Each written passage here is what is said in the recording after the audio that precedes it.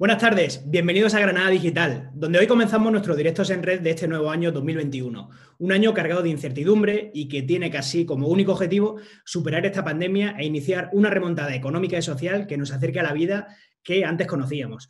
Allá por el mes de abril del 2020, en plena primera ola, sacamos a la calle este formato de entrevistas en directo y pedimos al alcalde de Granada que pasara por aquí para estrenarlo con él en Granada Digital, eh, la verdad es que nos gustan las tradiciones y el primer directo, de, el, primer directo de, en red de este 2021, pues no podía ser con otra persona que con el alcalde de Granada de nuevo. Nos acompaña también nuestro subdirector de Granada Digital, Juan Prieto. Alcalde, buenas tardes, bienvenido de nuevo a Granada Digital. ¿Qué tal? Pues buenas tardes a todos y también a los que nos eh, sigan a través de las redes. Y un placer estar con vosotros, con uno de los medios de comunicación punteros de Granada, moderno, innovador y un gustazo. Y también estar con el querido Prieto, con el que nos gusta, me gusta tanto hablar de, fútbol. hablaremos, hablaremos un poquito también de fútbol, alcalde. Oye, ¿con qué, ¿con qué ánimo personal afrontas este nuevo año, alcalde, tras un 2020 tan complicado? Bueno, ya sabes que mi frase en la cercanía, soy guerrero, estoy acostumbrado a superar obstáculos, nadie lo está poniendo fácil, ni nada lo está poniendo fácil, pero yo no vine aquí para, o sea, contemplar lo que estaba sucediendo y no incidir, entonces Estamos en una batalla muy importante, eh, por una parte para el salto de calidad de Granada de cara al futuro, hacer de ella una ciudad más importante aún si cabe, del largo patrimonio histórico que tiene y situarla en un futuro importante y también en la faceta económica, y por otra, atendiendo todo lo que está generando esta pandemia, pues tanto a nivel de requerimientos vinculados con el tema de la sanidad, pero también, desgraciadamente, pues con el problema económico que nos genera la ciudad y a muchos actores a los que tenemos que intentar hacer de todo para, intentar también sacarlos adelante. Eh, buenas tardes, alcalde, me alegro de saludarte. Eh, manda antes que nada la actualidad. Y ahora mismo todo parece indicar que ante el inquietante incremento de, contagio en esta tercera ola en la que estamos ya inmersos, la Junta va a anunciar mañana nuevas medidas restrictivas eh, para el conjunto de Andalucía y especialmente para, para Granada. Eh, van encaminadas, al parecer, a las restricciones de movilidad, posiblemente horarios, toque de queda. ¿Te han adelantado algo? ¿Sabes algo de lo que puede suceder? ¿Y te parece necesario tomar estas medidas tal y como están los datos de contagio a día de hoy? Bueno, eh, por una parte parece lógico que, no desvele ningún tipo de información, eh, independientemente de que además las decisiones definitivas mm, globales se terminan de tomar y se está haciendo así durante los últimos tiempos, justamente nada más terminar la propia reunión de expertos que se suele hacer en el mismo momento donde después inmediatamente se comunican las medidas, ¿no? Entonces, por respeto a todos y, también porque hay parte de la información que no se conoce, que se tratará ahí y que puede dar lugar a alguna decisión que pueda cambiar, pues evidentemente no lo voy a hacer. Pero yo siempre he dicho, cuando me preguntan, pero bueno, ¿y, el alcalde de Granada qué, qué, propone? ¿Que se cierre la ciudad? ¿Que no se cierre? que Nosotros no estamos para, para inventar ni para meternos a ser científicos. Para eso hay un comité de expertos, para eso hay gente que está estudiando, que tiene los diagnósticos y que tienen que decir cuáles son las medidas. ¿Qué me meto como alcalde? Primero, pues en que se garantice que a Granada se la trata en el mismo plano de igualdad que cualquier otra ciudad y, por tanto, las medidas que se adopten aquí en una situación determinada sean las mismas que se están adoptando en el resto de ciudades en esa misma situación. Y dos, si a Granada se le produce un daño económico importante que no se está produciendo en otras ciudades o en otras provincias, producto de una situación singular, pues intentar reclamar fondos, como hice con ese plan especial que pedía la Junta y que esperamos que se concrete con más de 15, 16 millones de euros por el tiempo que Granada estuvo cerrada en su actividad no esencial. Lo demás corresponde a, los técnicos, a la Consejería de Salud y en la coordinación que tengan con el Ministerio y nosotros pues simplemente pues, hacer caso y eso sí, hacer un llamamiento que hasta que las vacunas no terminen de quitarnos a todos el, temor del contagio y nos devuelva la normalidad, pues que tengamos la máxima precaución, el máximo cuidado y que sigamos eh, haciendo un uso de todas las medidas de seguridad personales que son necesarias para intentar llegar todos juntos a, esa vacuna con el número menor posible de contagiados, de encamados y de fallecidos. Mm. Alcalde, lo cierto es que empezamos el año con datos muy altos de contagios, con restricciones, y es evidente que esto va a afectar mucho a la economía, al turismo, al empleo. Eh, habrá ayudas para administraciones locales eh, que se esperan que existan importantes fondos europeos para paliar esta crisis sanitaria económica. No sé si tenéis alguna previsión respecto a esos fondos europeos y, sobre todo, hacia dónde van a ir dirigidas esas subvenciones, alcalde. Bueno, eh, en las gestiones directas que estoy haciendo, y esta mañana he tenido que dar una rueda de prensa para desmentir lo que está diciendo el Partido Socialista de que no hemos presentado proyectos europeos, de que los vamos a perder y que qué pena la oportunidad que ha, perdido Granada, porque es totalmente falso. eso lo comentaré ahora después eh, también he mencionado precisamente y enseñado documentación de los fondos que estamos peleando, que estamos eh, disputando. En este momento, los ayuntamientos españoles, por una gestión que se hizo en la FEN, eh, pueden utilizar sus remanentes para ayudar a sus ciudades. Hoy me mandaba alguien que Sevilla va a poder destinar un millón de euros a las cofradías para la cuaresma, independientemente que no haya Semana Santa.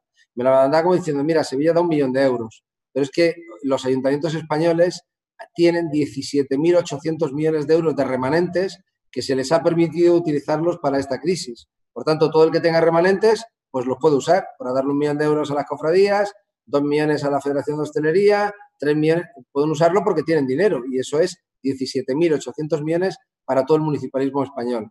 El problema lo tenemos los que no tenemos remanentes y los que teníamos una deuda de 300 millones de euros, los que teníamos un pago a proveedores que rondaba los 200 días y que estábamos en un plan de ajuste y que tenemos un interventor que no nos permite decir que vamos a dedicar X dinero a tal cosa mientras nos salgamos de ese plan de ajuste. Bueno, pues con todo eso, las gestiones directas que ha hecho este alcalde en este momento ya podrían rondar los 43 millones de euros que podemos conseguir para Granada para derivarlo para ayudas. ¿Y de dónde salen esos 43 millones a los que me estoy refiriendo ahora? Pues directamente en la gestión con el fondo que sigue defendiendo la FEN con el gobierno de 3.000 millones de euros, 2.800 por población, 100 para los ayuntamientos que no tenemos remanentes, de los que nos saldrían unos 20, 20 millones y medio. Otros 6 millones y medio aproximadamente del fondo de transporte que tienen que ingresar, ojalá en este mismo mes y pronto, y así se nos está diciendo, estaríamos en 23 y ese plan especial de ayudas a la Junta, pues en su momento me indicaron que estaría por encima de los 16 millones de euros, por tanto estaríamos en 43 millones de euros directamente ya esas medidas, directas acciones del alcalde con las instituciones para defender los intereses de Granada. Si recibimos ese dinero, que la FEN lo está reclamando y lo mete en sus revistas mensuales, en los discursos del presidente, en las reivindicaciones al gobierno, pues entonces podremos dedicarlos eh, para revertirlo, digamos, en la economía de los granadinos y ayudar a nuestros autónomos y a nuestras pymes. Y sin tener recursos, hemos destinado ya 4 millones de euros de ahorro de impuestos a todo el sector también empresarial granadino, que cuando hablamos de 4 millones, o sea, bajar los impuestos es bajar también la recaudación. Y por tanto, dejamos de ingresar 4 millones para que esos 4 millones estén en el bolsillo de los contribuyentes que tengan empresas, pymes o autónomos. Y otros 3 millones de euros estimados al no subir el IBI, porque cada punto de subida del IBI es un millón de euros de ingresos al ayuntamiento. Si la media del PSOE durante sus años de mandato ha sido de tres puntos de subida cada año. Si nosotros no subimos el IBI, pues dejamos de recaudar 3 eh, millones de euros que están en el bolsillo de los granadinos. Por tanto, un ayuntamiento con los problemas que tiene este, aún así, hemos dejado ahora mismo 7 millones de euros en el bolsillo de los granadinos, además eh, de otras muchas medidas que hemos anunciado, que hemos puesto en marcha y que han permitido que nuestro sector pues, hayan tenido el aliento también de su ayuntamiento permanentemente. Alcalde, o sea, que de esta ingeniería económica que nos acaba de, contar, que la verdad es que, está, trabajada, eh, directamente, sobre todo irá en gran parte enfocada, como decía, a pymes y autónomos, y va a haber eh, subvención directa eh, directamente hacia ellos, o, cuál es la idea que, planteáis vosotros? ¿Cómo se bueno, depende del dinero de por dónde provenga. El del Fondo de Transportes para paliar el agujero que tenemos en el transporte público, porque es un agujero ya que ronda los nuevos 10 millones de euros. O sea, muy grande y un agujero al ayuntamiento. Por otra parte, pues por poner un ejemplo, y eso ya lo presentaremos y lo hablaremos para concretarlo, eh, Junta de Andalucía, empresarios y ayuntamiento, pues queremos que ese plan especial revierta en traer grandes eventos a Granada que generen un retorno a la economía muy, muy importante. Y por tanto, eh, eventos que probablemente no tendríamos la economía para conseguir hacer que pudieran venir a Granada, pues poder atraerlos gracias a este fondo. Sería una forma indirecta, pero muy directa, de generar economía importante en la ciudad, de mejorar la marca de ciudad en sí mismo, el potencial que tenemos y al mismo tiempo pues, hacer que ese retorno a la economía sea el que beneficie, digamos, a todos los granadinos que en este momento tienen actividad económica. Eso como ejemplo. Y luego después está también ese eh, dinero que estamos pidiendo también desde la FEN al gobierno, que también nos tiene que servir para, analizando todos los sitios donde tenemos que meter ese dinero para intentar eh, ayudar, eh, hacerlo. Y luego, por otra parte, están los fondos europeos, Next Generation. Son fondos que, proyectos que, tienen que tener más de 10 millones de euros y que tienes que tener un periodo de ejecución que tienen que estar terminados antes del 31 de diciembre de 2026 y que eh, se tienen que cobrar entonces. y por eso decía, digo, que el Partido Socialista salió en todos los medios diciendo que los habíamos perdido, que no habíamos pedido nada, cuando precisamente el plazo para esos fondos no lo terminará de definir el Gobierno hasta después del 31 de marzo, que es cuando van a terminar los proyectos nacionales tipo Corredor Mediterráneo, que son proyectos que presenta el Gobierno, el Estado, y a partir de ahí, en comisiones sectoriales, eh, terminará de perfilar la ordenanza y el expediente para decir eh, qué cantidad de dinero va a ir a las comunidades autónomas, qué cantidad de dinero va a venir a los ayuntamientos sin pasar por las comunidades autónomas, donde ya nos ha garantizado a la FEN 1.500 millones de euros directos de proyectos que podrá presentar directamente los ayuntamientos y, por tanto, el Ayuntamiento de Granada. Y luego, aparte, digamos, de eso, pues ver también los plazos y las características finales que se le requieren a esos proyectos. Estamos trabajando en línea con la colaboración público-privada y, por tanto, también pidiendo a privados proyectos importantes de ciudad que también nosotros como ayuntamiento podamos mm, plantear y, proponer, teniendo en cuenta que los proyectos que proponga la Junta de Andalucía los hará sobre ocho provincias y donde habrá pues que priorizar y donde habrá provincias que apretarán mucho, más, menos y por tanto está en ese entorno y nosotros los proyectos que presentemos como ayuntamiento los presentaremos eh, como ciudad, pero eh, podrán ser proyectos público-privados igualmente. Dentro de, todos esos proyectos, alcalde, importantes para la ciudad, que hay bastantes en marcha, algunos que están defendiendo con, con vehemencia, con fuerza. Eh, algunos de infraestructura parecen que son bastante necesarios. Por ejemplo, la ampliación del metro, ahora que se ha cerrado la segunda circunvalación, creo que es muy importante para la ciudad. El tren a Motril, que también eh, he leído declaraciones tuyas en, el que lo apoyan muchísimo. Eh, no sé si el cierre del anillo lo tenéis en, la cabeza, en la ronda este, o incluso el teleférico a, a Sierra Nevada son proyectos de ciudad, son proyectos que harían más grandes, ¿no? Sí, voy a comentar, eh, pero ahí es donde, por eso quiero que los granadinos no se despisten, porque les den una información que al final termine liándolo todo. Eh, muchos de los proyectos que estamos hablando, el Ayuntamiento de Granada los apoya, pero son proyectos eh, que tendrá que presentar la administración competente que tiene que desarrollarlo. O sea, en este caso, o sea, si hablamos de un proyecto que afecta digamos, al Ministerio de Fomento, es el Ministerio de Fomento el que tiene que presentar ese proyecto. Nosotros no le podemos presentar al Ministerio de, proyecto, eh, de, Fomento perdón, un proyecto de soterramiento, porque ese proyecto de soterramiento lo tiene que hacer el Ministerio, no, no lo hace el Ayuntamiento. O lo mismo exactamente con el resto de infraestructuras eh, prácticamente que hemos mencionado. Sí, precisamente yo hoy he tenido una reunión esta misma mañana, pues lo digo porque estamos en tiempo real, para precisamente revitalizar el proyecto o sea, del teleférico, por poner un ejemplo eh, concreto, ¿no? Y ese proyecto ellos también lo van a canalizar por parte de la Junta de Andalucía, que he dicho con las personas que, están detrás del proyecto y que eh, tienen contacto también con nosotros. Vamos a estar atentos al minuto y resultado y si el proyecto entra dentro de las prioridades de la Junta sobre el dinero que a su vez también tenga disponible de ese fondo autonómico la propia Junta de Andalucía y la Junta lo puede canalizar, fantástico. Pero si por el motivo que sea la Junta no lo hace porque no termina de cuadrar por cualquier otro motivo, pues lo haría el ayuntamiento, en la cuota que nosotros también tengamos.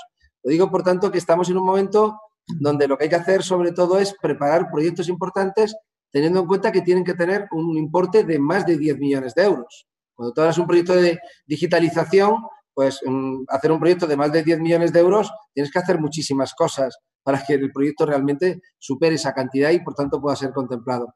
Estamos en todos los ámbitos, eh, desde el Ayuntamiento de Granada ya, cuando decían no presentar ningún proyecto, sin ser ese el camino que todavía hemos cogido, porque, repito, estamos en la elaboración de proyectos y en la interlocución con la sociedad para culminar y tener más proyectos disponibles importantes, pues directamente desde el área de medio ambiente se han pasado ya a petición de proyectos por más de 50 millones de euros también hacia la Junta de Andalucía y eso ha ido a ese correo que habilitó la Junta de Andalucía para poder mandárselo.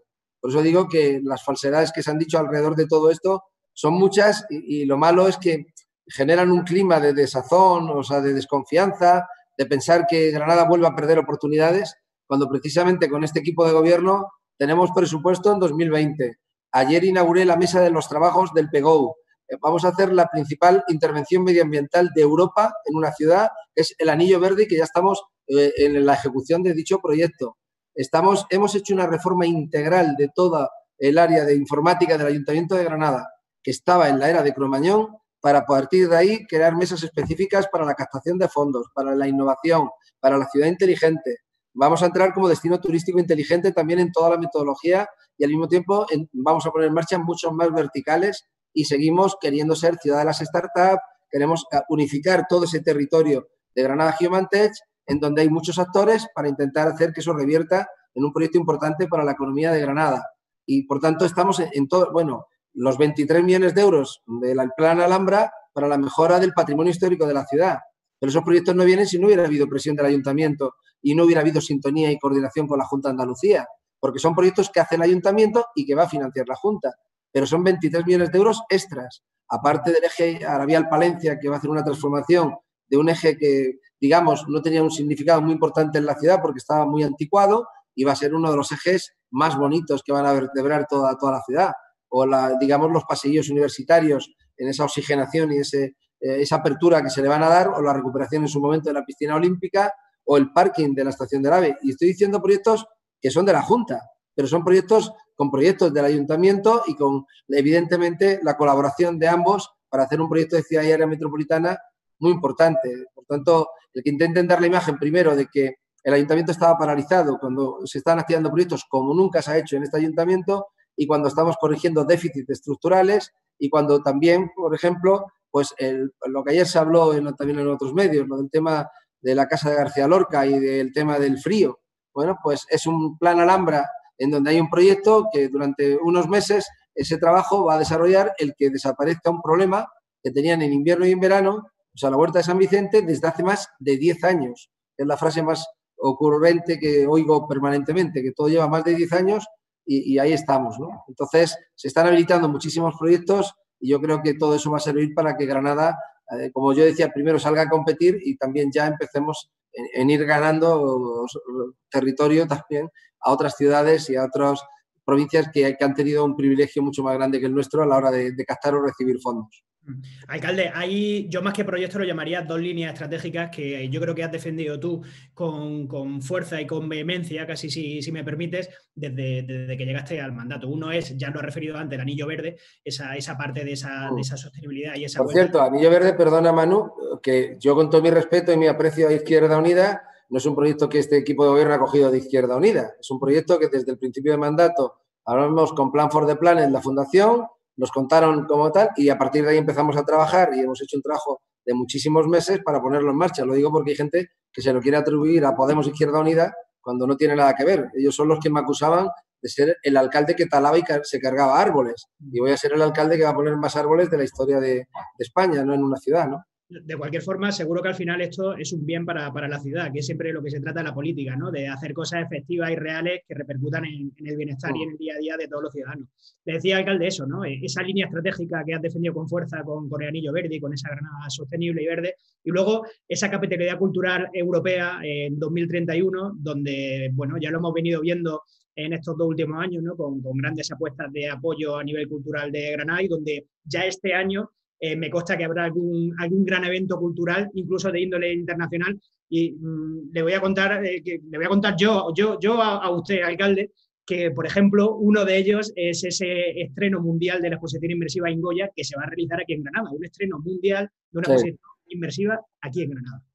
Y además en, una infraestructura, también lo digo y, os lo doy un poquito en primicia, aunque lo presentaremos en breve, eh, en el Palacio de Congresos de Granada, que también quiero aprovechar esta entrevista en primer lugar para decirte claramente, tanto a nivel de Granada como también para que me entienda, quien me tenga que entender en Sevilla, que el Palacio de Congresos de Granada es una infraestructura económica vital y fundamental para la ciudad de Granada y para el área metropolitana, que este alcalde y este equipo de gobierno lo vamos a defender hasta la extenuación y que tenemos que reflotarlo y conseguir hacerlo todavía muchísimo más rentable y que proporcione un beneficio a la ciudad todavía muchísimo más grande y uno de los proyectos europeos que vamos a presentar, que ese sí lo presentaremos la semana que viene o la siguiente, será un proyecto de 13 millones de euros muy importante para dar un salto de calidad y de prestación de servicios diferentes por parte del Palacio de Congresos y lo que me reservo es el contenido, pero va a ser un proyecto muy bonito, o sea, que tiene que hacer que el Palacio de Congresos, o sea, se revitalice,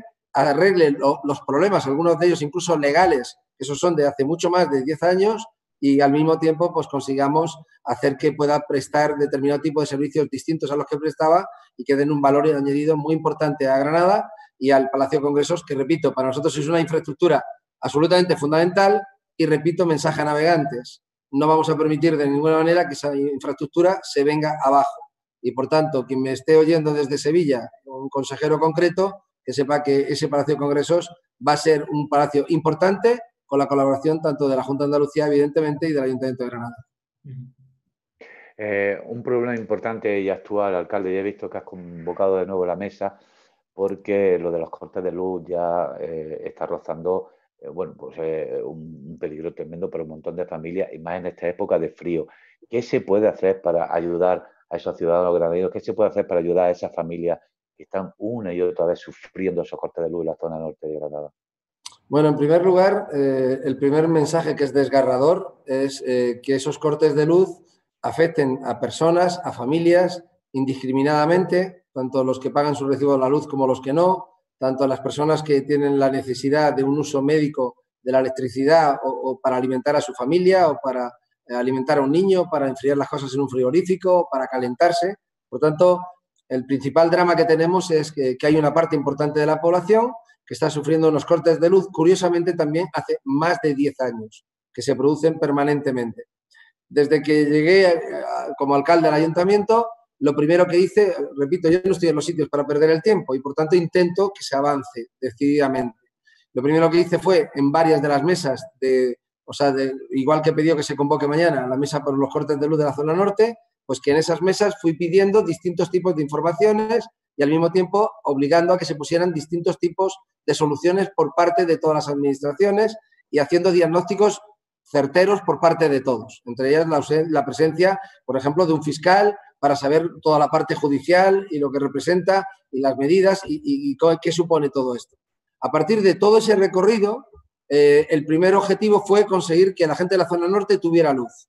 Y por eso entonces, este ha sido el primer equipo de gobierno que ha cerrado un acuerdo, el único equipo de gobierno que ha cerrado un convenio con Endesa, sin ser responsabilidad solo nuestra, porque hay responsabilidades del Gobierno de España, de la Junta de Andalucía y del Ayuntamiento, pues repito, el Ayuntamiento directamente firmó un convenio con Endesa, donde han hecho una grandísima inversión, donde pusieron cuatro transformadores nuevos, 12 torres de alta tensión y más de 70.000 metros nuevos de cable.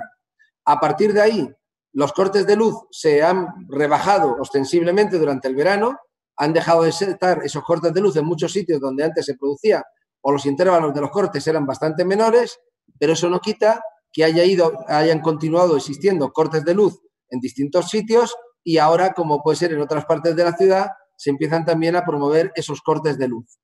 Lugares donde antes no se producían y donde no solamente están en el distrito norte, sino también puede pasar un poquito a la zona de la Chana o puede irse un poquito hacia la zona de Azagrande. Eh, he dicho algo que incluso hasta el jefe de gabinete anterior del alcalde, el señor Bomarzo, intentó decir que yo decía que eran traficantes las personas de la zona norte, o sea, en una burrada aberrante propia de una persona que escribe ese tipo de cosas. Simplemente porque he dicho una cosa. O sea, los cortes de luz no van a desaparecer en la zona norte, se van a extender a más partes de la ciudad, se extenderán por el área metropolitana como está pasando. Y será un problema, como hoy es, de país, mientras no se acabe con la producción de marihuana.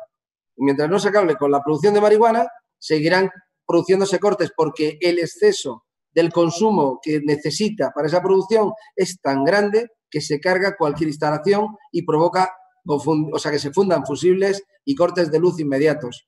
O sea, Endesa ha habilitado una brigada que está trabajando permanentemente en la zona norte para estar atentos a cualquier sitio donde se produce, ir a sustituir un fusible. Inmediatamente se van y vuelve a saltar el fusible.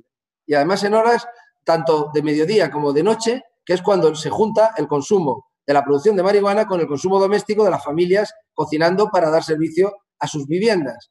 Decir esto por tema de seguridad hasta personal no se atrevería a decirlo prácticamente casi nadie. Pero ¿por qué lo digo? Porque o se arregla ese problema o entonces el problema será mucho mayor y afectará a más partes de la ciudad y afectará a más municipios y afectará, como está pasando, cada vez más en muchos puntos de España. Hoy estamos viendo muchas intervenciones de Guardia Civil en el área metropolitana o de Policía Nacional en la eh, ciudad de Granada. Y cada vez que se producen esas intervenciones, verán que cuando son las grandes, los que vienen son policías que vienen de otras provincias, de Zamora o de cualquier otro sitio que vienen para hacer la intervención. Por eso, repito, no estamos para perder el tiempo. Mañana en la mesa de la zona norte intentaré que cada uno asumamos nuestra responsabilidad, pero que sobre todo no nos engañemos. Vayamos a la raíz de los temas e intentemos solucionarlos. y si no, entonces, pues desgraciadamente, pues el problema de los cortes de luz no solamente afectará a las personas que hoy les afecta, sino se seguirá aumentando esa afectación a otras zonas de la ciudad porque el exceso del consumo es el que lo produce. Y, por cierto, cuando se hizo la instalación de Endesa, la reforma y la mejora de toda la red que, han o sea, que pusieron en marcha gracias al convenio con el ayuntamiento, toda esa mejora servía para dar electricidad a bastante más que a la zona norte. Multiplicaba por bastante la posibilidad de consumo y por tanto no era un problema de falta de potencia o falta de capacidad para suministrar eh, electricidad como algún otro partido están diciendo. Hay partidos que lanzan mensajes buenistas de que queremos arreglar los cortes de luz, pobrecitas las personas que lo sufren, pero no vamos a donde está el problema porque eso nos da miedo y entonces nos quedamos en pedirle a Endesa que lo arregle y Endesa es imposible que lo arregle porque ponga y aumente el suministro de, electricidad como lo aumente, pues se seguirá produciendo una demanda superior a ese consumo, a esa producción que se puede ir produciendo. Y eso es lo que todos comprobamos en las reuniones también de la mesa de la zona norte durante toda la, la cantidad de actos que ha habido. Entonces, bueno, yo espero que mañana demos un pasito adelante entre todos e intentemos de verdad reflexionar que si no queremos ciudades a oscuras dentro de unos años, pues tendremos que poner remedios hoy, porque si no entonces, o sea, nos decían desde Endesa y lo han dicho en reuniones que si terminaba de saltar una subestación determinada, pues podía provocar un corte a más de un distrito de más de seis meses sin luz durante ese periodo. Por tanto, estamos hablando de algo que es muy serio y que evidentemente preocupa tanto al Ministerio del Interior, porque si no, no habría tantas operaciones, preocupa a todo el mundo, pero, pero que es un problema que va creciendo y se va extendiendo por el área metropolitana y también en municipios de la provincia y diría que prácticamente en toda España. Contaremos mañana aquí el resultado de, esa mesa, de las negociaciones de mañana, que ojalá que salga todo bien. Estamos acabando ya, alcalde. Eh, le voy a dejar la última para que se la haga con, Juan, que yo creo que a vosotros os gusta siempre. Yo soy también, sabes, muy futbolero, pero, pero yo sé que a ti te gusta especialmente comentar el fútbol. Eh, te hago yo la, penúltima, alcalde. Eh, ¿Habrá presupuestos municipales para este 2021? ¿Crees que habrá consenso? Bueno, más que consenso o no consenso, también yo pido, quiero hacer un llamamiento también al sentido de la responsabilidad de la oposición. El gran problema que tenía el Ayuntamiento de Granada, para empezar, es que tenía una arquitectura presupuestaria del año 2015 cuando estábamos en 2020. Cinco años después, eso se ha arreglado con el presupuesto que se aprobó. Por tanto, hoy la estructura presupuestaria del Ayuntamiento es idéntica a la estructura política y, por tanto, hemos hecho una adaptación necesaria. Los presupuestos, lo estoy diciendo, si son unos presupuestos positivos que sirven para mejorar, teniendo en cuenta que estos presupuestos van a ser muy complicados porque hay una caída de ingresos tremenda y porque todo eso va a afectar principalmente este año, no al año anterior. Y se está hablando con todas las áreas. Lo que he pedido es que no se pierda mucho tiempo.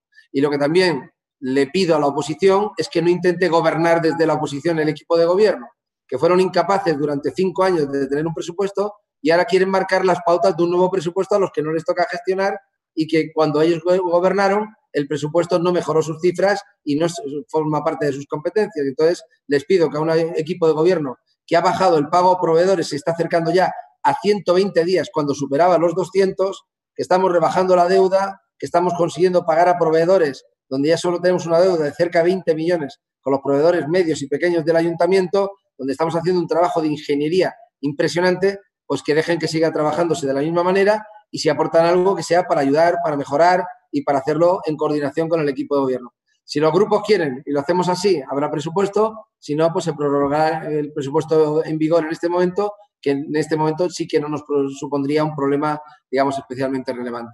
Bueno, pues no podemos terminar, alcalde, si no hablamos un poco de fútbol, que es que esa pasión que, nos une a los tres, la verdad. Eh, estamos viviendo unos momentos históricos fantásticos de, de nuestro equipo con unos resultados espectaculares del Gran de Fútbol, los mejores, eh, dos años posiblemente de, su historia, este año están siendo también eh, unos muy meritorios por el esfuerzo que está haciendo el equipo con la gran cantidad de partidos que está jugando, pero al margen de ello existe una inquietud entre en el club, existen los aficionados con el tema del convenio de los Cármenes. Y la pregunta es obvia, ¿por qué aún no se alcanza un acuerdo? ¿Qué es lo que está pasando para que ese acuerdo de cesión de los Cármenes no, no se desarrolle, alcalde? Bueno, en primer lugar, lo primero que está pasando es que el, el PSOE no para de mentir y enredar también en este tema tan concreto.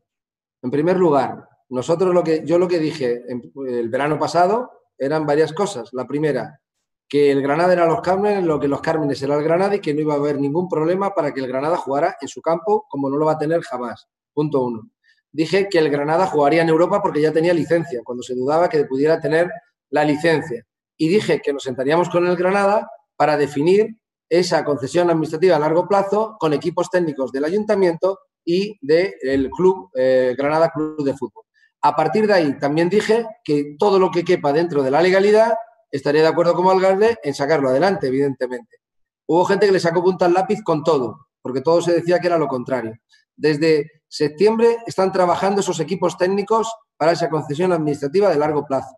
Y dentro del equipo técnico del Ayuntamiento de Granada participa el letrado mayor del Ayuntamiento, el secretario del Ayuntamiento, el director gerente de GETSA, y está Luis González y el alcalde. Y luego, por el club, todos los responsables que el club pone al servicio de este eh, acuerdo y de este trabajo que estamos desarrollando. ¿No parece muy lógico que cuando estamos en esta fase de trabajo técnico entre los distintos equipos y para analizar todas las posibilidades, para adaptarlo todo a la legalidad, para ver todo lo tal y como se tiene que hacer, porque hay muchos elementos, tanto deuda del Granada con la ciudad, tanto quién tiene que hacer o no las inversiones, tanto cuál tiene que ser o no ser el canon, tanto qué tipo de usos y de qué manera. Todo eso es un trabajo que incluso cuando se habla de hasta los usos exteriores hay que hacer una reforma del PEGO o hacer una innovación. Eso supondría no menos de tres años de hacer solamente eso. Por tanto, ya que se está trabajando, pues pediría nuevamente al PSOE que no enrede, que no intente ahora ver por sacar rédito y, meter la pelea política, ver si mete una moción en este pleno solo para ver quién quiere dar al Granada y quién quiere quitarle al Granada, cuando precisamente el ayuntamiento está trabajando con seriedad. Yo he hablado con Antonio me dice que el club quiere eh, seguir la línea que estamos siguiendo, discreción, trabajo y que todo vaya yendo bien y que él no avala de ninguna manera desde el club ninguna posición de ningún partido político para sembrar discordia con esto. Por tanto, yo quiero tranquilizar a los aficionados que el ayuntamiento está trabajando con sus equipos técnicos desde septiembre y lo sigue haciendo a día de hoy y lo va a seguir haciendo y lo está haciendo en contacto con los técnicos del Granada Club de Fútbol y sin ningún tipo de problema en este momento y avanzando pasito a pasito, o sea, como se, estamos haciendo también tener ya 27 puntos a falta de un partido para terminar la primera vuelta. Y a ver si podemos ver al Nápoles, ¿no? Bueno, vamos a ver si... las puertas ya, ¿no? Ojalá, ojalá esa vacuna y, también haga que haya muchas personas que puedan acceder al estadio, porque yo creo que es algo que es absolutamente necesario. Y quiero poner en valor ya también no solamente al Granada Club de Fútbol, sino a nuestros equipos de baloncesto, a nuestros equipos de fútbol sala, a nuestros equipos masculinos, femeninos, a nuestros atletas, a todos los deportistas granadinos de élite y de, de, deporte de base que día a día, digamos, pues van haciendo que Granada cada vez tenga más potencial y que también en una temporada tan rara como esta y con tantos y, con el elemento frustrante de que los aficionados no puedan ir a los estadios, a los pabellones y disfrutar del deporte como les gustaría, pues están compitiendo con, mucha elegancia, con mucho trabajo, mucho esfuerzo y, consiguiendo muy buenos resultados. La temporada que está haciendo el Covirán Granada es espectacular y sin embargo, desgraciadamente, no podemos tener ese arriba Palacio lleno como, como ha estado en tantas ocasiones todavía. ¿no? Luis Salvador, alcalde de Granada, muchísimas gracias por haber estado con nosotros. La verdad es que, como siempre, cuando levantamos el teléfono y llamamos al alcalde de Granada, siempre se, se presta. Así que gracias, alcalde, de verdad. Pues muchas gracias a vosotros, porque yo creo que también eh, esta entrevista, si os dais cuenta y por los temas que hemos tocado, sirven para aclarar muchas cosas con muchos ciudadanos que, que muchas veces cuando ven noticias y ven informaciones de parte, pues, pues se genera pues una, repito, desconfianza, desilusión y mucho ruido y mucho desorden y despiste, cuando mejor preguntar a la fuente. Y por tanto, si alguien me pregunta por fondos europeos, si me pregunta por cualquier tema, pues el alcalde va a poder dar su visión y yo creo que eso es lo que tiene que llegar a los ciudadanos y a partir de ahí exigirme que lo que yo digo sea verdad. Como nadie me va a poder decir que lo que digo es mentira, pues será que lo que estoy diciendo es la verdad y por tanto lo que tiene que tranquilizar al conjunto de los granadinos. Ahí estaremos nosotros siempre para, preguntar. Alcalde, eh, este año la novedad que tenemos con los directos en red es que eh, nos hemos inventado una especie de, encadenado, ¿vale? Entonces, el próximo lunes a la una del mediodía, nuestro invitado es el vicepresidente de la Junta de Andalucía, Juan Marín, que creo que lo conoce sobradamente. Eh, entonces habíamos dicho, oye, ¿por qué no el invitado que está con nosotros el día anterior le deja una pregunta para el invitado que va a venir luego en la charla siguiente? Entonces, no sé si quieres decirle algo al vicepresidente de la Junta de Andalucía, que nosotros le pondremos este fragmento del vídeo y, que nos conteste él, que nos diga. Bien, bueno, pues en primer lugar, Juan, eh, me encanta que participes en los directos de Granada Digital. Esto tiene que servir para que precisamente una ciudad que a ti te gusta tanto como la ciudad de Granada y que valoras tanto al ser el responsable también de turismo y saber el potencial tan tremendo y tan importante que tiene Granada y que competimos en el corazoncito por un espacio con tu querida Sanlúcar. Entonces, simplemente, pues, preguntarte y pedirte que nos des información de los grandes proyectos que desde turismo se van a hacer en la ciudad de Granada por parte de tu consejería. Fantástico. Gracias, alcalde. Un abrazo muy fuerte. Un abrazo para todos y sobre todo miremos el futuro con, con esperanza y optimismo, independientemente que sabíamos que después de la movilidad de la Navidad, pues iba a haber que tomar restricciones y después de esas restricciones volveremos a tener nuevamente otra vez recuperar parte del espacio perdido y mientras que ojalá las vacunas rápidamente se extiendan y se propaguen para que al final desaparezcan las mascarillas y volvamos a, tocarnos, a abrazarnos y besarnos. Que así sea. Un abrazo, gracias. Gracias, alcalde. Un abrazo. Hasta luego.